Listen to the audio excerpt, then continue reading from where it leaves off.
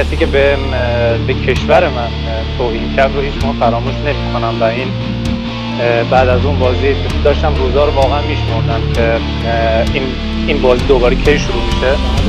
دقیقا همین زمین بود و همینجا توهین کردن. من به خودم قول دادم یه کاری می‌کنم که واقعا اشکشون رو در بیارم. صدا ما اون نمیره.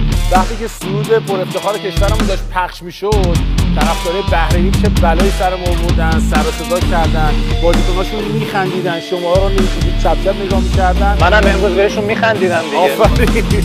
و دمتون گرم واقعا خدا میگم به آقای نصرتی گفتش که بودم. واقعا تو گوشم وایساده بودم داشتم میخندیدم. من برای چی میخند بنده خدا رو برای چی دوست دارم. کار خوب کردی آقا. تا می‌خوای بخند.